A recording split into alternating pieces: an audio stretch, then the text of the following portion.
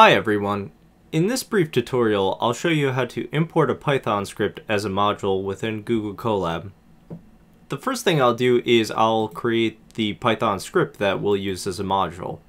So I'm going to go to my Google Drive and create a new Google Colab file. And this script will just be a simple function. And what I'm going to do is I'm just going to take the square root of a given number and return it.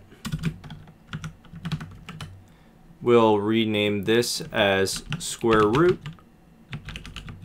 and we can save this as a py file and download it. Next thing I'll do is I'll drag and drop our py file into Google Colab. And I'll go over two methods that we can import the file. The first method is we can connect to our Google Drive, so I already have this connected. We go to Drive, My Drive, then we go into the specific folder that contains the py file. So in this case, I am going to copy the path. And I am going to do a bit of bash scripting here. So I am going to use bash, and this CP stands for copy, I'm going to put in the path. One thing to be aware of, if there are spaces within the path, then you need to put escapes into it so those spaces are canceled out. And then the final part is we need to save this to our content space right here. So let's see if we got this. And if we refresh, we were able to save it to the content drive within Google Colab. After this, it's very easy. We just have to import square root. And the way that we check is we had square root as S-Q-R-O-O-T. So we could do, call the script itself square root.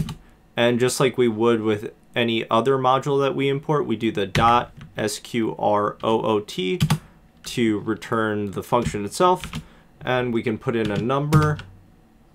Great, so we were able to successfully import a module and import a Python file and use it as a module. There is a second method if you want to import files locally. So here I imported from Google Colab files. And what we can do is we can go and what I'll do now is I'll just delete this so we can start fresh. And we just go to files dot upload, hit enter, and I can choose files. And I am just going to choose the square root. And now I have it saved here. Like before, we'll just import square root and we'll also call the square root module, then the square root function, and put in the number that we're taking the square root of. Thank you for watching. I hope that this was helpful. If you like the video, please like and subscribe. Also, if you have any Google Colab questions, I'm always interested in learning more about it and taking deep dives, so feel free to comment on this video. Thanks again for watching, and happy coding!